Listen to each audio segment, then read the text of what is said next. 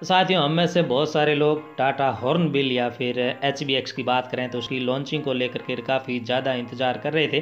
Corona pandemic के चलते ये ऑलरेडी बहुत ज़्यादा डिले पहले से हो चुका है लिहाजा। अब उसका इंतज़ार और लंबा नहीं करते हुए टाटा ने एक प्रेस रिलीज़ जारी की है, जिसके बाद ये अनुमान लगाया जा रहा है कि 4 अगस्त 2021 को, यानी अब से कुछ ही दिनों बाद HBX को भारतीय बाज़ार में लॉन्च कर दिया जाएगा।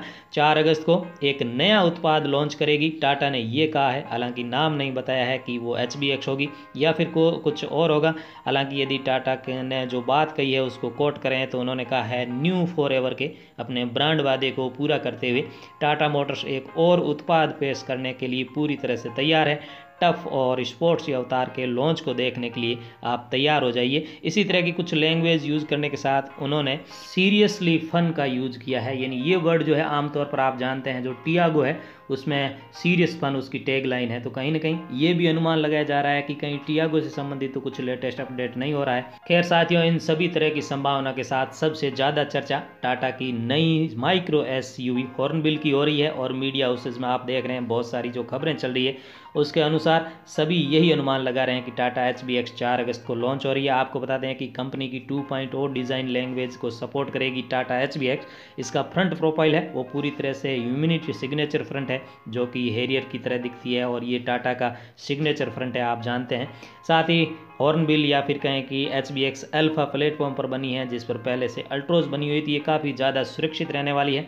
तो साथियों आशा करेंगे 4 अगस्त 2021 हमारे लिए एक शानदार दिन साबित हो और टाटा अपनी इस माइक्रो एस की लॉन्च कर दे, जिसमें 1.2 लीटर का रिवो ट्रेन पेट्रोल इंजन मिलेगा, जो 85 bhp का पावर और 113 nm का टॉर्क जनरेट करेगा। इसमें आपको 5 स्पीड मैनुअल के साथ कुछ जो अपर वेरिएंट है, वो ऑटोमेटिक के साथ भी मिल जाएँगे। साथियों, प्राइस की बात करना, हालाँकि अभी कंपनी ने जारी नहीं किया, लिहाजा हम ज़्यादा अनुमान नहीं लगा सकते, लेकिन एक बड़ा अनुमान लगाएँ तो चार से पाँच लाख के बीच में कहीं साढ़े चार लाख के आसपास इसकी प्राइस रहने वाली है। और ये टाटा की जो सब फोर मीटर कॉम्पैक्ट एस है नेक्सन उससे नीचे रहेगी और उसी की तरह दिखेगी। जो लोग या जो साथी बजट के चलते नेक्सन नहीं खरीद पाते हैं, वो एक छोटी नेक्सन अब से कुछ समय बाद से खरीदना शुरू कर सकते आशा करेंगे चार अगस्त 2021 को हॉर्न बिल ही लॉन्च हो, या फिर हो सकता है कोई कार का या फिर एरियर जैसी किसी कार का डार्क एडिशन लॉन्च कर दिया जाए, या फिर टियागो वगैरह में कुछ नया इंजन ऑप्शन दे दिया जाए। ऐसी संभावना के साथ सबसे प्रबल संभावना यही है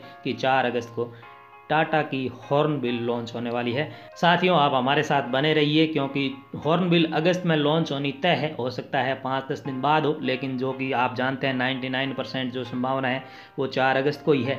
तो आप हमारे साथ बने रहिए, इस चैनल को सब्सक्राइब कीजिए, क्योंकि टाटा हॉर्न बिल से संबंधित जो भी छोटी से छोटी खबर होगी, वो हम सबसे पहले आप तक पहुँचाएँगे। आप सब यहाँ तक आए इस वीडियो को देखा, इसके लिए और चैनल को सब्सक्राइब किया, इसके लिए आपका बहुत बहुत धन्यवाद। Thank you.